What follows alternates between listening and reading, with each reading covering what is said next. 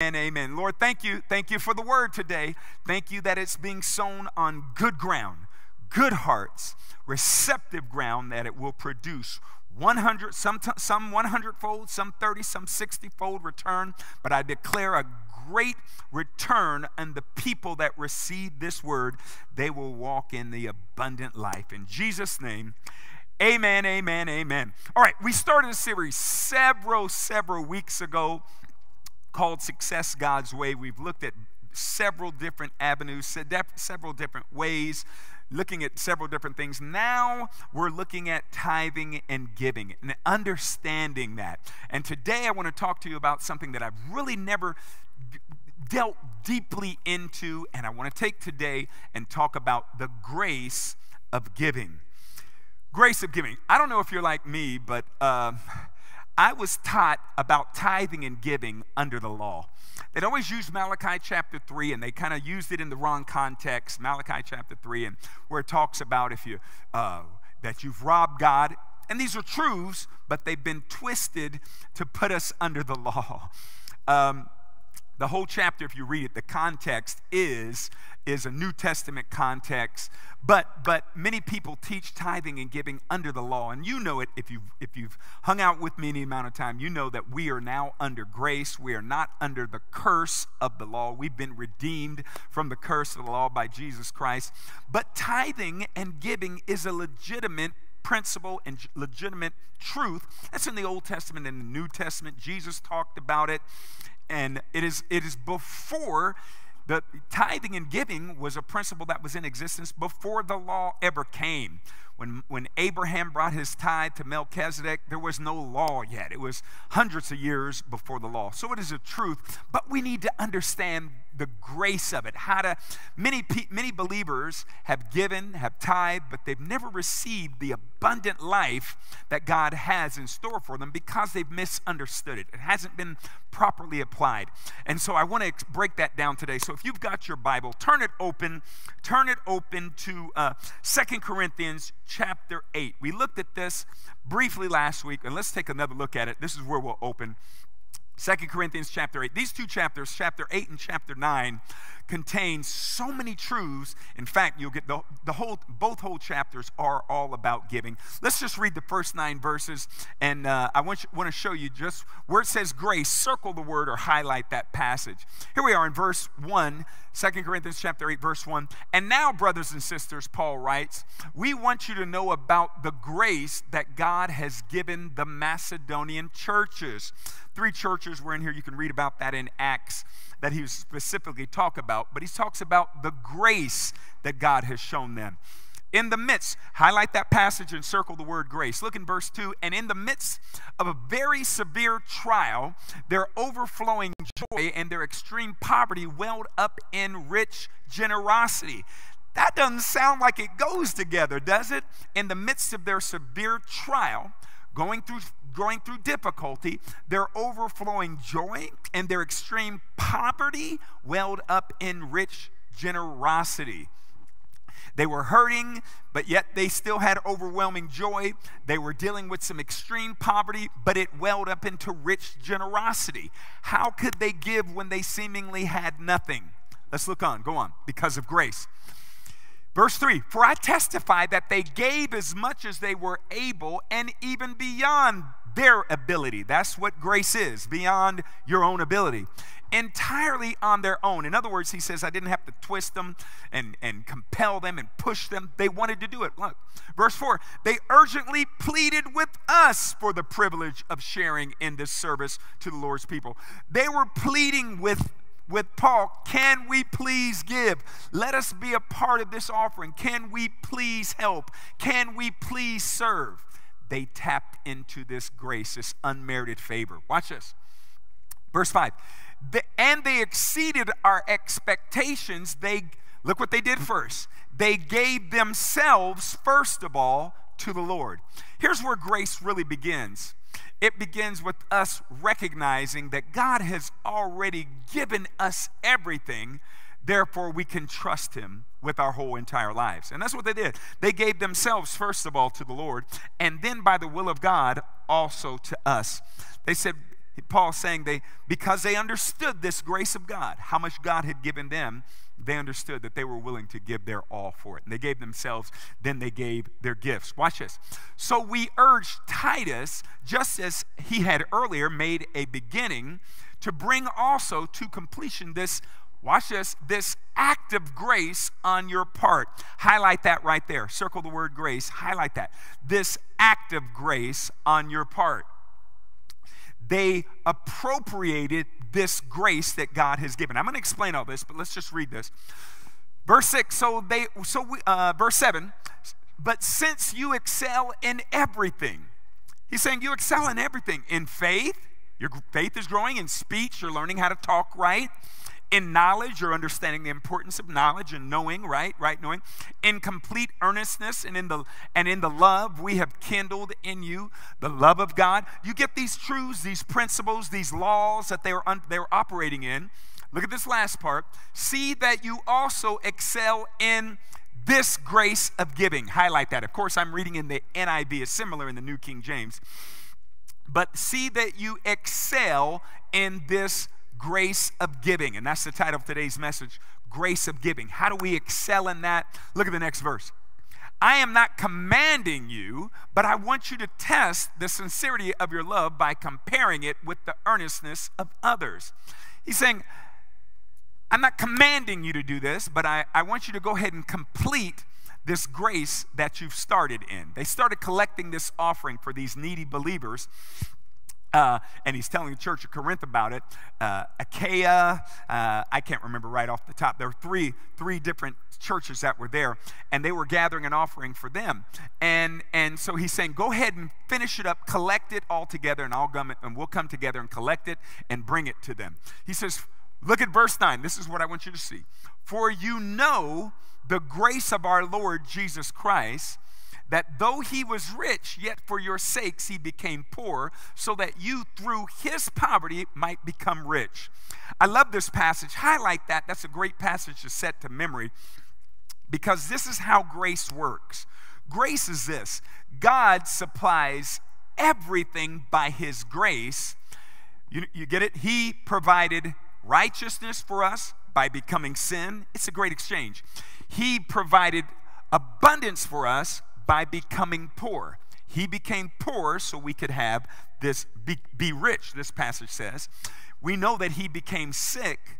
He was beaten. He was he, he received our sickness our sin so we could receive his health and his righteousness. It's a great exchange and that's what he calls grace here. For you know this grace and that's where this begins.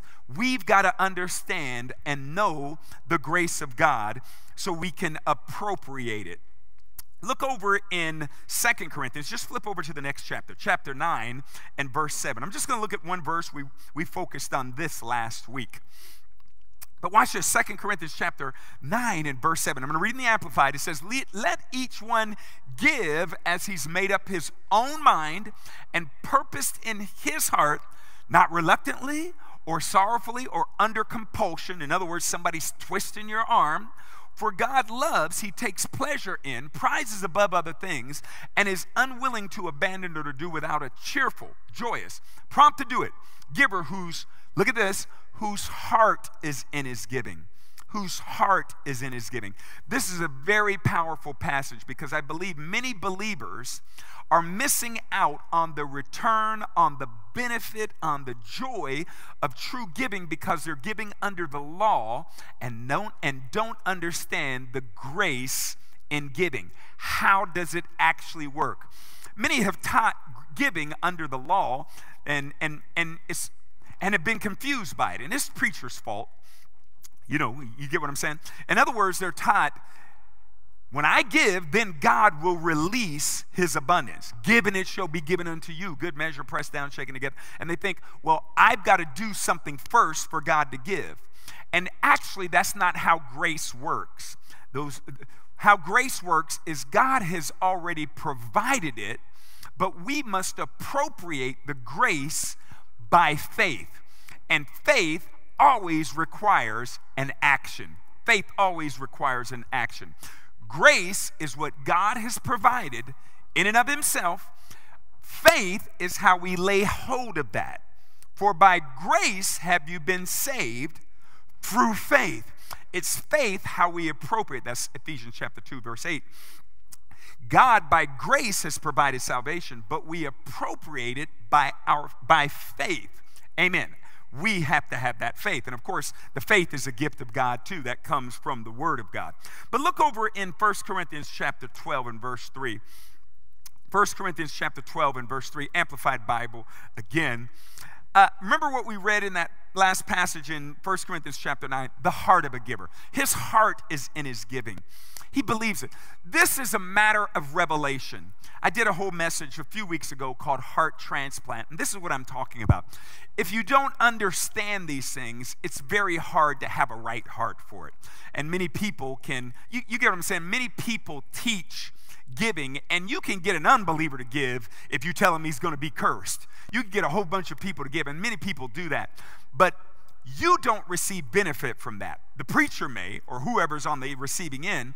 But the truth of the matter is, God wants you to receive benefit in your giving. Given it shall be given unto you. There's so many passages that talk about sowing and reaping and, and sowing and harvesting. There should be a harvest attached to it. Now, that isn't the primary reason we do it.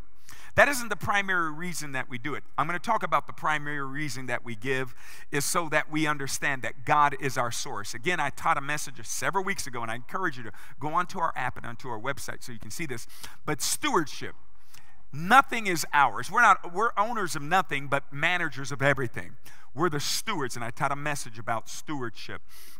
Amen. But having this right heart. Look here in 1 Corinthians chapter 12, verse 3. Amplified, it says, Paul writes, he says, Therefore I want you to understand that no one speaking under the power of the influ- and influence of the Holy Spirit of God can ever say, actually, I did this, made this mistake again. It's chapter 13. I'm sorry, chapter 13 and verse 3. I'll turn to it if y'all can't back there, no problem. And that's not your mistake, that is mine. 1 Corinthians chapter 13 13, the love chapter. Praise the Lord. 1 Corinthians chapter 13 and verse 3. Let me try that again. Therefore, where is it? I'm going to just read it. He says, uh, and though I bestow all my good, here, let me read in the Amplified. Even though I dole out all that I have to the poor in providing, oh, thank y'all back there.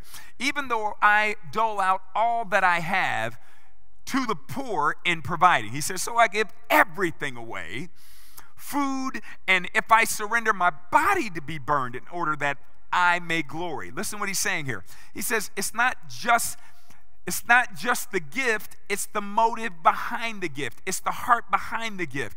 He says, and give my body to be burned in order that I may glory. If I'm giving for my own benefit, for my own glory, look what he says. He says, but have not love, God's love in me, I gain nothing. I negate the return on my gift. Yes, I can be a blessing to them, but God wants us to give with the right understanding and the right heart.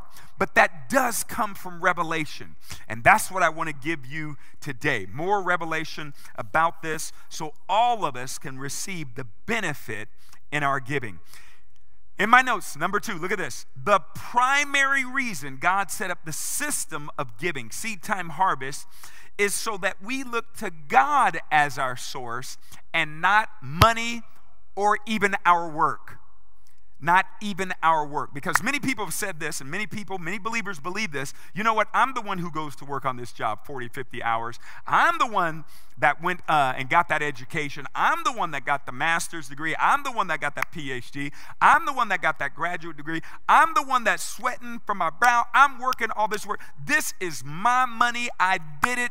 And that is wrong. And I want to show you this from the scriptures. The reason that God has giving in place is so that we look to Him as our source and trust Him. The moment, the, the second you put your eyes on you, your career, your stuff, I'm telling you, it's on the wrong thing. Your career is a resource. It's what God will use to bring it. But God will use whatever. If you learn to operate by the principles If you learn to operate by the principles, it doesn't matter what's going on out there. God will use ravens, He'll use a whale, He'll use dogs, He'll use anything to get you what's promised, to bring you the hundredfold return when you're looking to Him and not you, your job, your abilities. Are y'all with me? Come on, somebody. I just said a mouthful right there. Amen. Let's look at a few passages so we understand this. First of all, turn to Psalm chapter 50. Psalm chapter 50. We'll hit this one tomorrow in our in our prayer and proverb in the morning. I hope you join me in the morning. It's, it's such a life-changing time. 30 minutes change your life. Amen. And start your day going in the right direction. But here in Psalm chapter 50, watch what uh, what uh, God says here. Look at verse 7. He, I'm reading from the Amplified Bible. He says, Hear, O my people, and I will speak, O Israel. I will testify to you and against you. I am God, your God. God says, Look at here, I want to talk to you.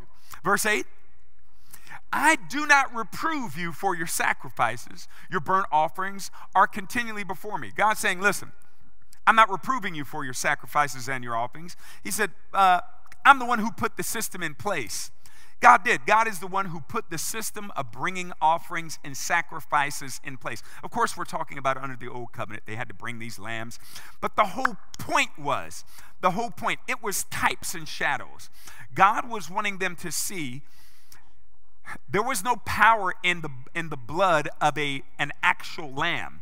What it all was doing was pointing to him and his blood, Jesus and his blood, before he got here everything, bringing offerings, was all to show that God was the one who gave us everything, and we were to bring to honor Him, keep Him in mind, to bring back, to remind ourselves that God, you're the one that you're the one that forgave me.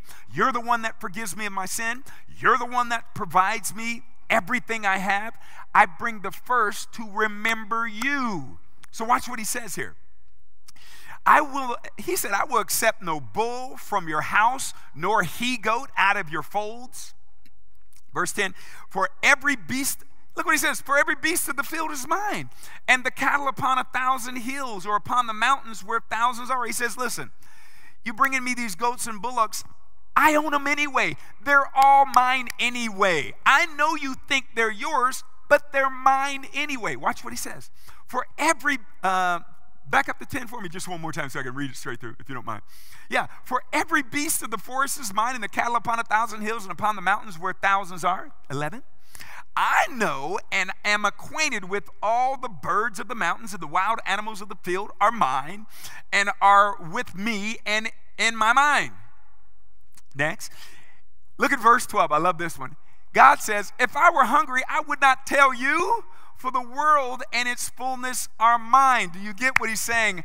I don't need this from you. Stop acting like you're under an obligation to me. I don't need this from you. You need to bring it so you keep seeing me. The moment you get your eyes off of who is your source, and put them on the stuff, when something happens to the stuff and you've lost your relationship and trust in me, now I can't provide for you. Do you realize this? God needs us and our trust, our faith in Him to provide for us. Are y'all listening to me? Amen. I love verse 12. Go to verse 13. He says, Shall I eat the flesh of bulls or drink the blood of goats? I don't need that. It's to remind you that the blood is to cleanse, it's my blood that's going to cleanse you. Verse 13, Shall I eat the flesh of bulls or drink the blood of goats? Amen. Do y'all see that? God is saying, No, no, no. This is not for me. You're not doing this for me.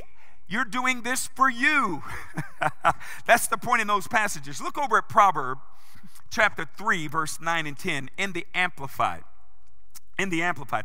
I love this because God is saying here, bring me your stuff to honor me. Watch what he says here. Verse, Proverbs chapter 3, verse 9 and 10, Amplified, he says, Honor the Lord with your capital and sufficiency from righteous labors, do right, do work, and with the first fruits of all your income. Every time you get a crop, every time you get a check, bring the first fruits of it, the tenth. Bring it to me. Look what he says honor the Lord with your capital and your substance from all your honor. What is God saying? This is an honor to me. What you're doing is saying, God, I recognize that you're the one that gave it to me. You're everything I have, my strength, my strength to go on that work, my ability to think to hold down this job. This, do you realize this? Just one breath, one change in your brain could make you complete a complete imbecile where you couldn't work, you couldn't do anything. God is holding everything together, and all He says is, honor me with that. Honor me. Honor me with it. Well, I do honor the. No, you don't. This is how you honor Him by bringing the first of it. I know a lot of people say with their mouth, but they really don't. And I'm going to prove that to you in the scriptures and in an example. The way you really believe that God is your source and your supply is if you honor Him. Well, Pastor, if I had more, I would. No, you're saying you trust the money and need it more than you need Him. If you really believe that He was your source, do you think God can't open doors somehow? He fed the children of Israel manna out of heaven because there was nothing out there for them to eat. Are you with me? God will do whatever He needs to do when we trust Him. Are y'all with me? Look at verse 10. So shall your storage places be filled with plenty, and your vat shall be overflowing with new wine. God says, if you will honor me and trust me, this is a heart issue that is that is an act of faith, right? Heart issue, and then my action is, Lord, I believe it. I'm not just giving lip service here. Remember, Jesus said that? He said, You honor me with your mouth, but your heart is far from me. When, it, when we really believe this, we'll act upon it and say, Lord, I need you. I thank you. Without you, I can't do anything. And without you, I don't have anything. Are you with me? Many of you started out well, started out well, but then the same thing that happened to the children of Israel happened to you. Started out well, you were in desperate need, then God started picking you up and unfortunately, then you started letting your hands down and started saying, God, I'm doing pretty good now. I don't need your help anymore. And now you find yourself stuck, unemployed, broke, toe up, jacked up. Listen, we need the Lord. Let me, let me show you some more passages. Let me get back here. All right. Turn over in your Bible. Oh, this is what I want you to see right here. Deuteronomy chapter 8, verse 1 through 19. Let's go. Deuteronomy chapter 8. You remember this? God's bringing the children of Israel into the promised land. And what he keeps saying is, don't forget, don't forget. You've got to remember it's me that's giving you the power to get wealth. It's me that's doing it. Let's read the passage. Beginning at verse 1, 1 chapter 8, 1 through 19. Watch this. Every commandment, every word, whenever you see in the Old Testament, commandment, just replace it with principle or truth, every word of God. Every commandment, every word of God, which I command you today, you must carefully be careful to observe that you may live and multiply and go in and possess the land which the Lord swore to your fathers.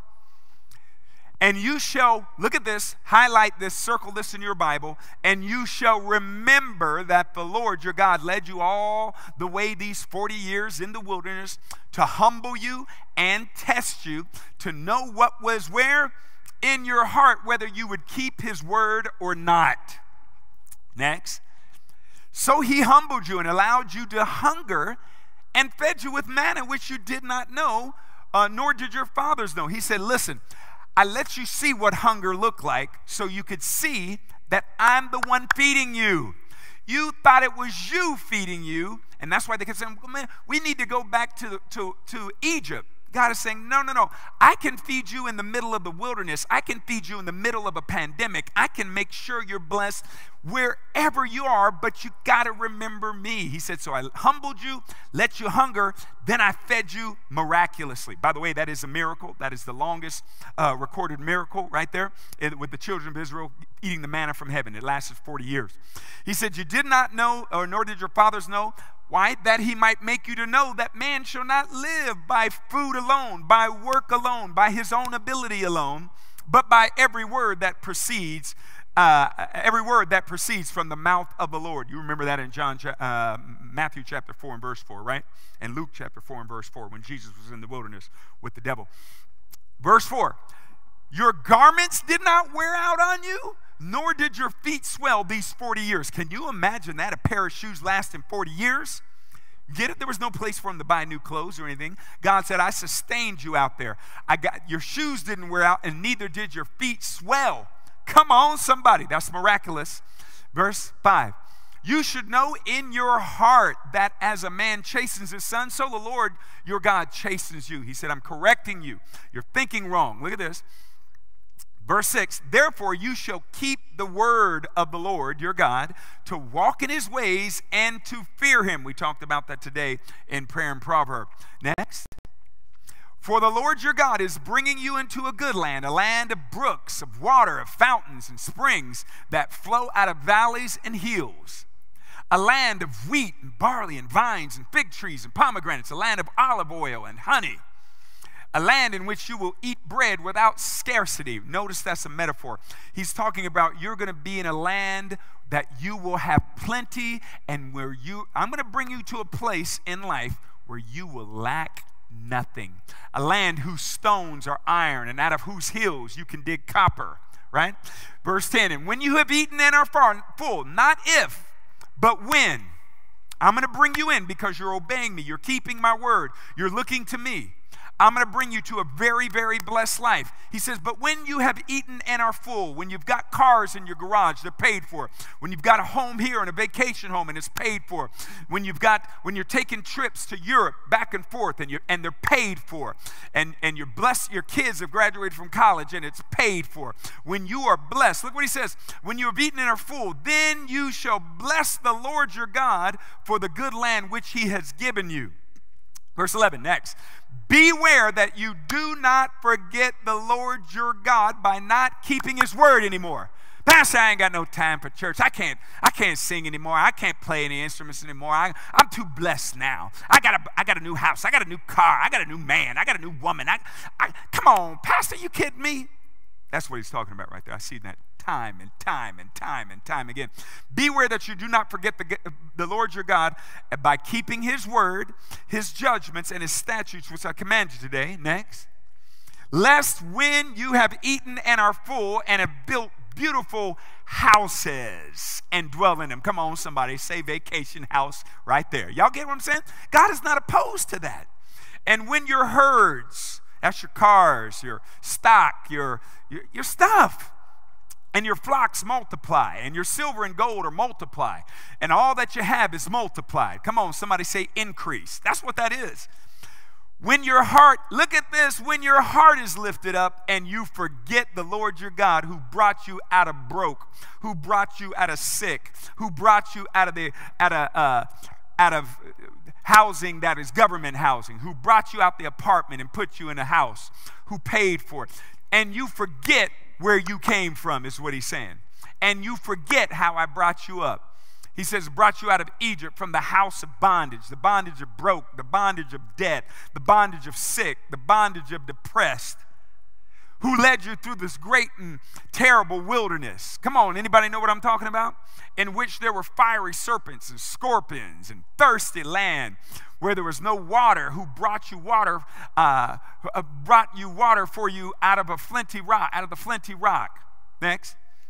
Who fed you in the wilderness with manna, which your fathers did not know, that he might humble you and that he might test you, to do, uh, to do you good in the end. Good God. Then you say in my heart, in your heart, my power, my education, my might, my degree, my cool, my good looks, my investments, my money, my, my, my, my, my, my, my. When you start saying my, I don't have time for that anymore. Pastor, I ain't got no time for that. I ain't got no time. My, my, my, my. Look what he says. Then you say in your heart, my power, my might of my hand have gained me this wealth. Look at verse 18. You know this one. And you shall remember the Lord your God, for it is he who gives you power what does that mean? Dynamis is the word right there, but he's saying, I'm the one who gave you the, the ability to get an education. I'm the one who's given you the strength to go on that job. I'm the one who gave you the wherewithal.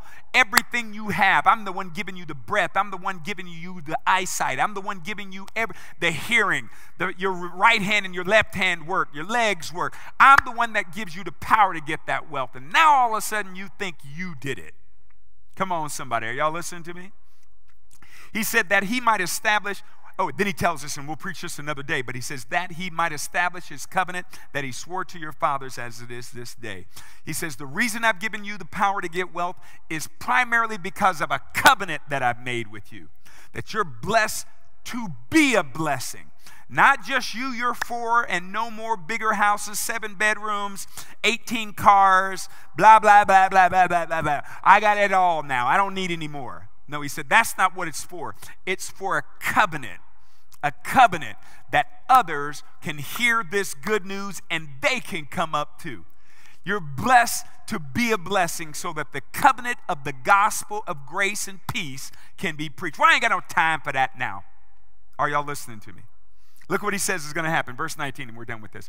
Then it shall be if you by any means forget the Lord your God and follow other gods, other gods like your job, like money, like people. Your wife don't look good anymore now that you got so much money. Your husband, he's he ain't smart as he used to be now that you paid, right? Come on, somebody. And serve them and worship them. I testify against you this day that you shall surely perish. He says it ends bad. Amen. Amen. Now, how does grace work? Do y'all get this? There's a purpose for the prosperity. We'll get to that in another, another week. But I want you to see it. What is the purpose? The whole purpose of this giving way is so that you don't forget. You don't forget. God wants you every time you get paid, every time you get promoted, God wants you to come to Him and say, Thank you. Lord, it's because of you that I've got this. It's because of you that I live like this. It's because of you that I drive like this. It's because of you that I'm educated like this. It's because of you, Lord. It's not because of my might, my strength. It's because of you. Somebody type on there, let's not forget. Come on, somebody. This is good, good teaching. Praise the Lord. Thank you, Pastor Lee. You're welcome. Look over to, uh, at Romans chapter 4 because now, so God wants us to remember Him. Now, let's understand this grace of giving. God has already provided it, but it is our faith that lays hold or appropriates it. Our faith. Let's understand this. Look over at Romans chapter 4, verse 16 in the Amplified Bible, because we're talking about grace in giving. Verse 16, Romans chapter 4, verse 16, Amplified Bible. Go ahead and turn there. Therefore, inheriting the promise. Which one? Any of them? Promises of salvation, promises of abundance, promise, promises of peace, promises of joy, promises of healing, promises of debt freedom, any of it, any promise is the outcome of faith and depends entirely on faith. Why? In order that it might be given as an act of grace, unmerited favor why is that? To make it stable, valid, and guaranteed to all the descendants. He says, I put receiving on an even playing field. I provided grace for everyone. Just because you look better, you're smarter, you're gifted in a certain area, doesn't give you an advantage over others by receiving by faith and grace. Grace is given to everybody. We appropriate it all the same way by trusting and believing in Him, believing in God. So that doesn't that means you don't have an advantage over any other believer. Every believer, you may be more talented than me. You may look better than me. You get it? But I still get to walk out grace because it's received by faith. I appropriate it by faith, not by my looks, not by my education. You get it? It's done by grace through faith, the vehicle of faith. And he says that's so everybody can play a part in this. Come on, somebody. Just because you're IQ, you got a whole bunch of alphabet at your name, I can still live the blessed life that God has for me. Amen. And you too.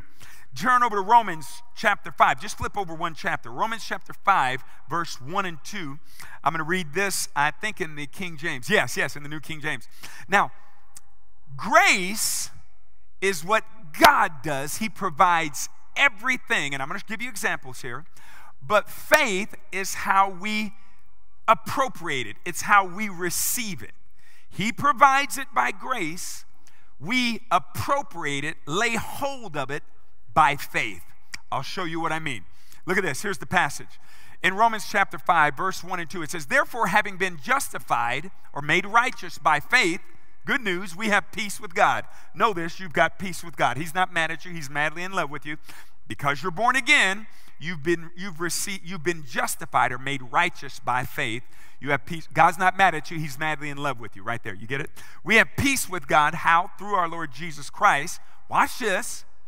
Through whom also we have access by faith into this grace in which we stand. That's what I want you to see. We have access by faith into this grace in which we stand. We have access into the grace of God, God's riches at Christ's expense. Somebody put that on the screen for me, if you will. Right where you are on your computer, grace. This is just an easy way to remember what it is. Grace, God's riches at Christ's expense. God's riches at Christ's expense. You, we access God's riches at Christ's expense by faith, right believing. Are you with me? Now, let me give you examples and then we're closing. Turn over, no, oh, let me say this one thing first that faith, because you say, Pastor, I have faith. I have faith. I believe God, but I, but I can't give her anything because uh, once I don't have any money. But when I get some money, Pastor, I've heard this a million times. When I get some money, Pastor, I'm going to really bless you. No, you won't. Because whatever you have right now, it's faith. It's a faith matter. If you ha- if whatever you have, if you have a dollar, you can sow a dime. It doesn't matter what you have. But I owe I owe this dollar to them. Is that all you owe? It's not enough anyway, right? In other words, if you take and you take and give them that, you trust them more than you trust God. Are you with me? Now, let me show you in the scripture so you can see what I'm saying here. First of all, faith without works is dead. Let me read this passage to you. You're all familiar with this. But many people say, oh, yes, I believe that. I believe that. But, no, no, no. If you believe it, you, it there will be action corresponding with it. There will be, cor- when you believe something, you'll do something. If you believe the, the building you're sitting here in right now was on fire, it would cause you to take some action. If you didn't believe it, you just sit there, right? But if you really believe it, faith always has action accompanying with it, appropriate uh, action, corresponding action with it. Always, or it's dead, the Bible says. Here we are in James chapter 2, verse 14 through 20. Let me just show you that.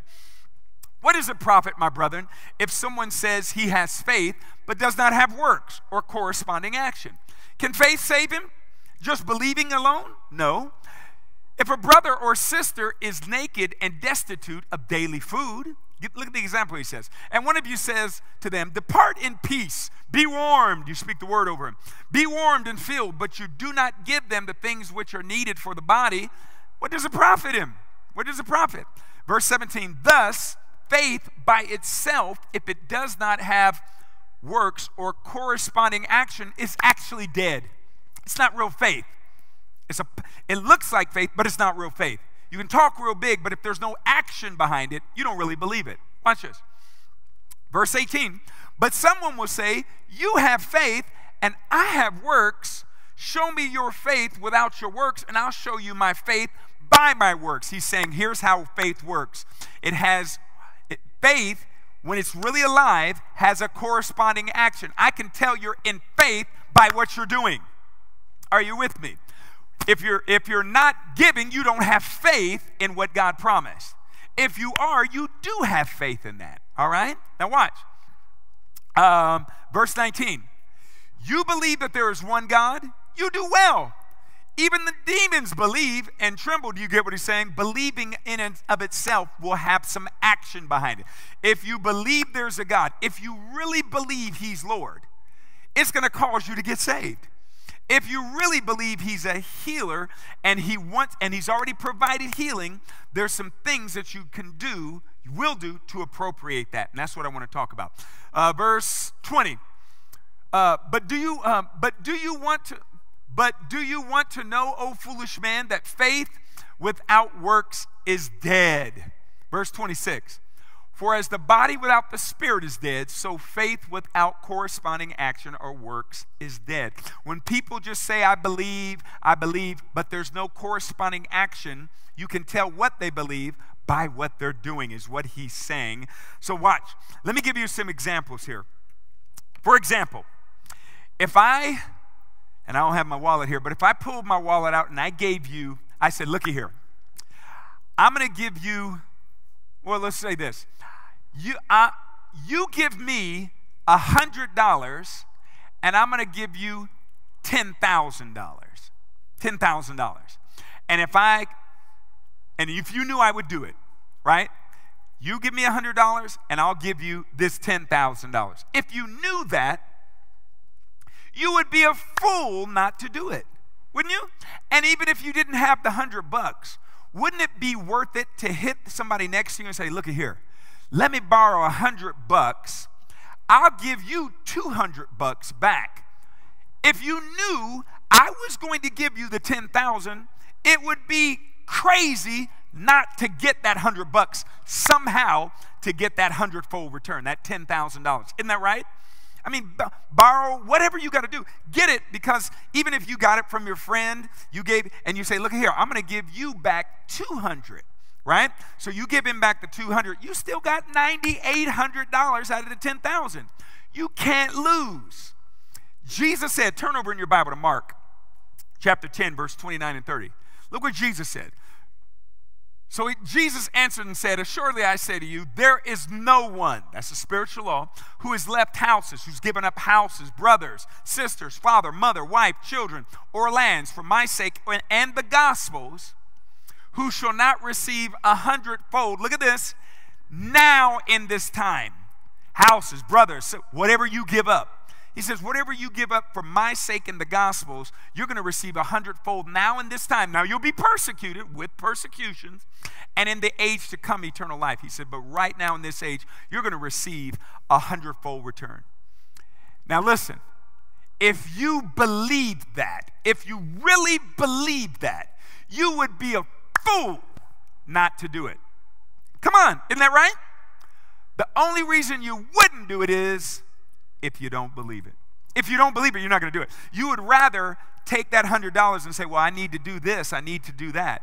But are they going to give you 10? Well, Pastor, I, do, I owe them that $100. Guess what? If I get that 10,000, I can pay them off completely. But God, now, this ain't T Bone we're talking about. This is Jesus. This ain't little Ray Ray and, and uh, little Peanut and them, Rockhead and them. This is God Himself said, Listen, there is no one who can give up anything for my sake in the Gospels who will not receive a hundredfold this time. Faith says, if I believe that, I'm going to go get that money and put it in there.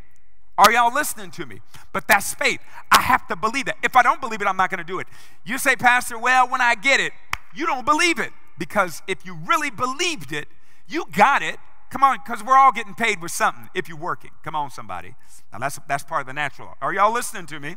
All right, let's look at this. Let's look at how grace works. Look in salvation. Here's how grace works God provides by grace. So, God has sent Jesus to the cross, provided salvation for every human being. Look at John chapter 3 and verse 16. Here's how salvation works. For God so loved the world that he did what? He gave his only begotten son that whoever believes. So God's part was the giving his son. He already did that. Anybody who gets saved, Jesus isn't going back to the cross. God isn't giving up Jesus again. He already did that.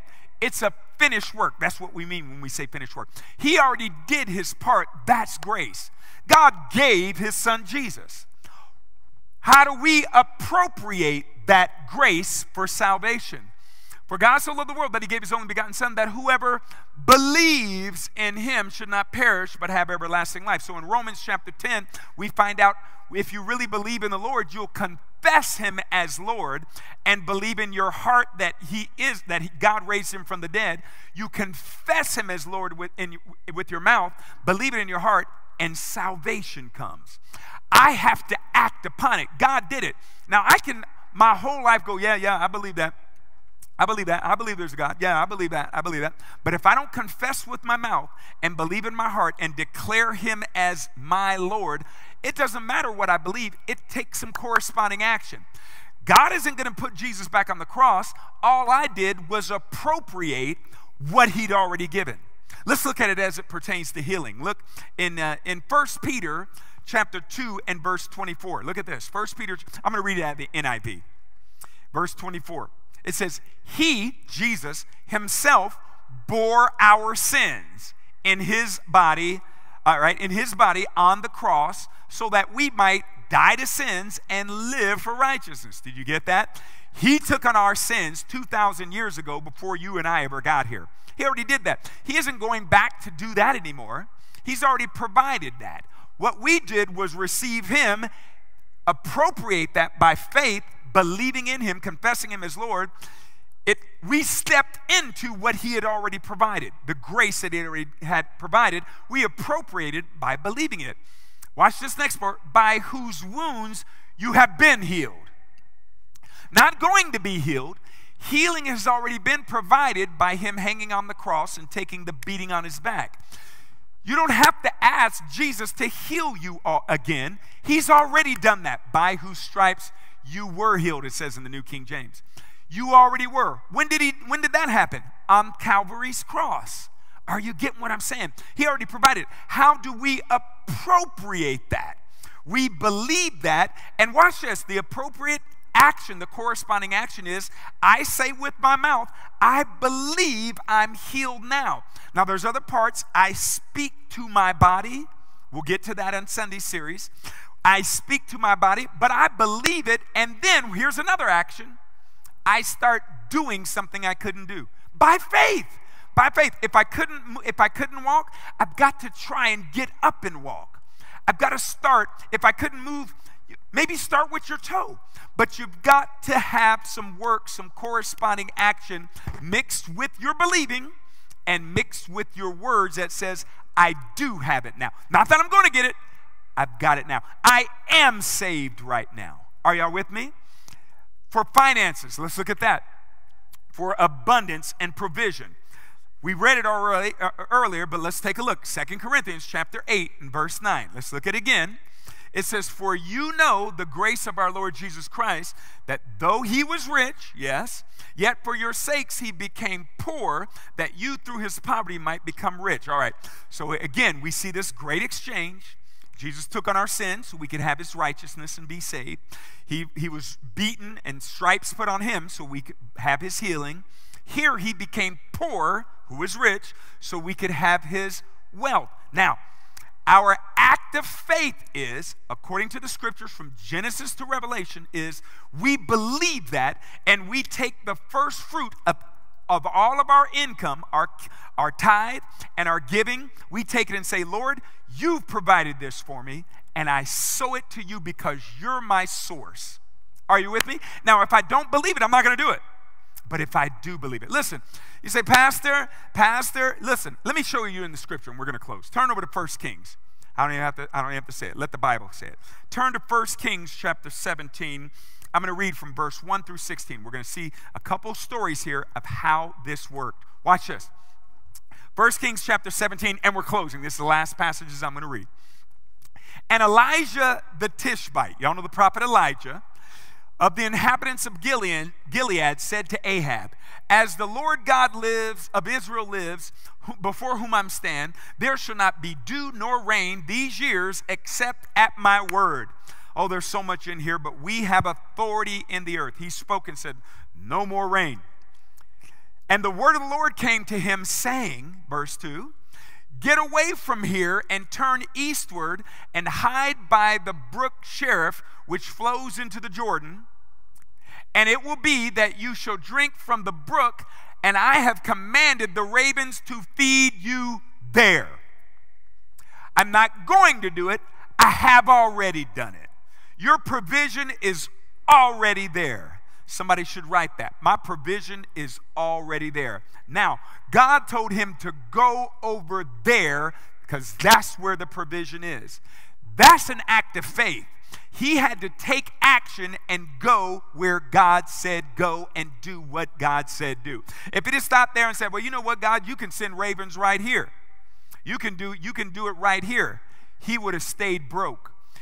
Just like you, if you don't act on the word of God by faith, you will not, even though the provision is there. God has provision for you. He's not holding out on you. God's not mad at you because you blew it in the past, you did whatever, whatever. But we all have, we've all blown it. The moment you get on this and believe it, Come on, somebody. If it was me and I had $10,000 that I could give you for a 100 you, and you believed me, you'd be a fool not to do that. We just have to be not believing and doubt not to trust God. That's all it is. But faith comes by hearing and hearing by the word of God. That's why you're hearing. Look at this, verse 5. So he went and did. I love that. According to the word of the Lord. For he went and stayed by the brook Cherith, which flows into the Jordan. The ravens brought him bread and meat in the morning. They didn't just start when he came there, they were there doing it, and he showed up where it was because of his obedience. He obeyed what God said, and the provision was there. Are y'all listening to me? We have to respond. Grace is what God provides, faith is our response to his provision, to his grace. My, my faith responds to, I know he's provided that. I know he's provided it. My, my faith is, here's my seed that proves it. I believe it, Lord. I believe it. I thank you for it. Amen.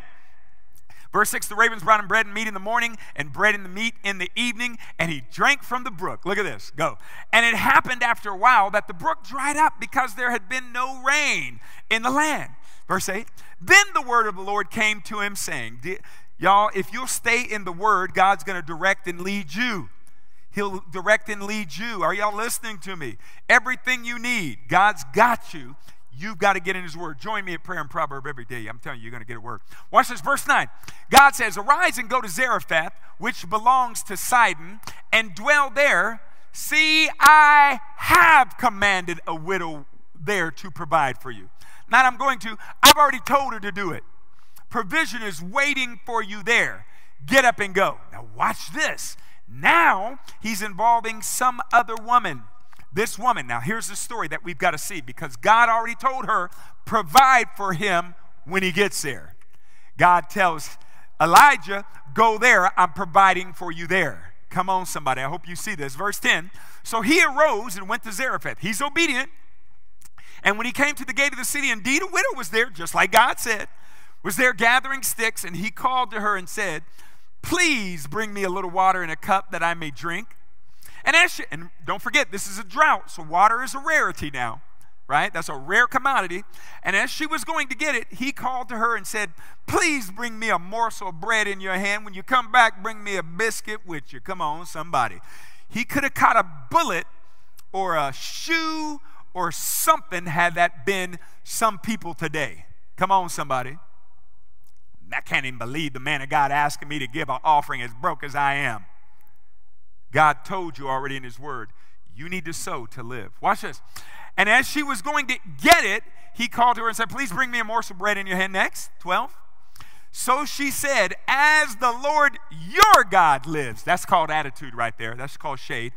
I do not have bread only a handful of flour in a bin and a little oil in a jar. And see, I'm going and gathering a couple of sticks that I may go in and prepare it for myself and for my son, that we may eat it and we go and die. This is all we got right here. This is it. It's a famine. We broke. We ain't got nothing else. How dare you come and ask me for this? God told him, I already told her to, to, to, to uh, provide for you. She ain't got nothing but a little meal in the, in the, in the bottom.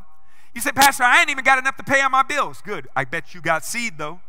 You've got to have discernment on what is your seed and what is bread. Look at this. Watch this. God doesn't want it all. He wants a seed, though. And Elijah said to her, Do not fear. That's usually the problem. We're afraid, we're fearful, which is the either we're in we're faith or we're in fear.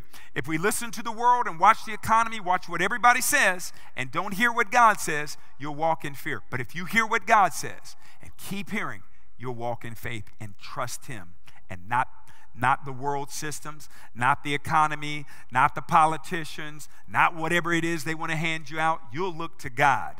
Come on, somebody. And Elijah said to her, Do not fear, go and do as you've said, but make me a small cake from it first and bring it to me. Pastor, well, you know, uh, Pastor, I, I, I, I give, I give. I'll ask, do you tithe?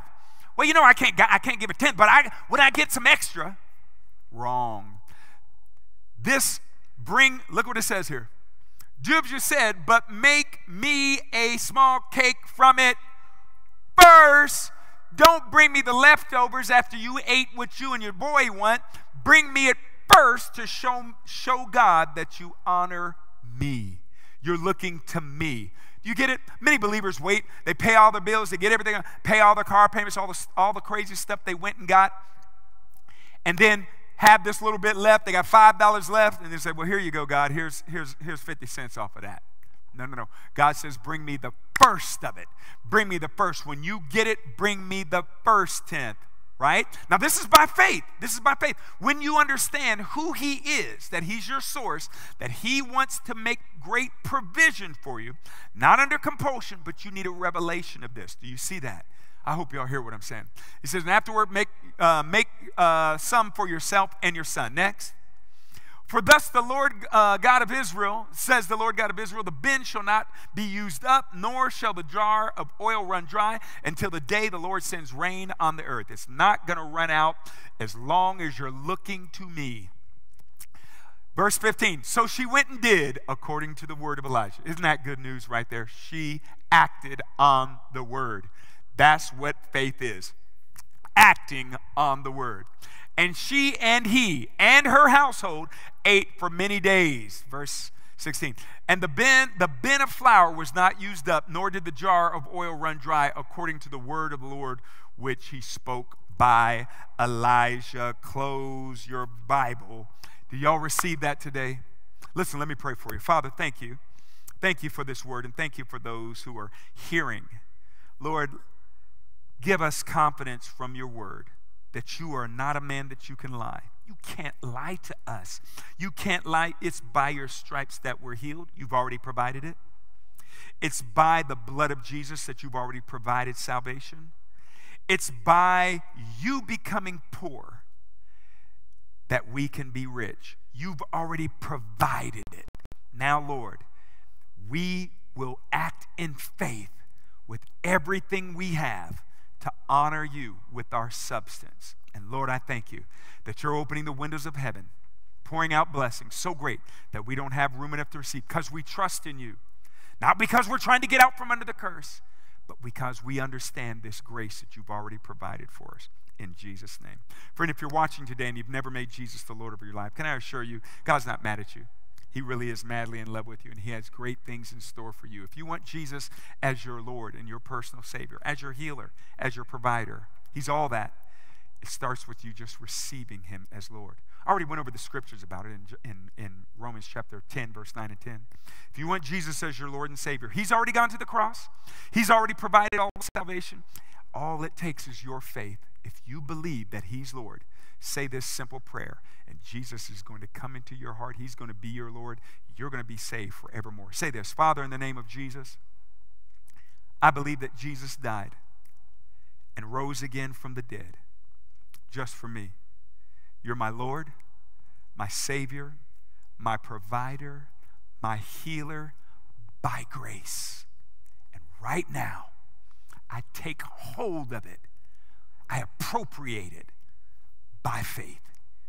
I say with my mouth and believe in my heart that you're my Lord. I'm saved. I'm forgiven. In Jesus' name, amen. Friend, you said that simple prayer. We believe you got born again. Listen, I hope you understand this.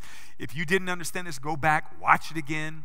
Go back and see all the messages we've taught thus far about sowing and giving. I'm telling you, God's got a life for you that's superior in quality and quantity. He's got a great life in store. Listen, I love you. I can't wait to see you right here next time. I can't wait to see you tomorrow morning at prayer and Proverbs 7 a.m.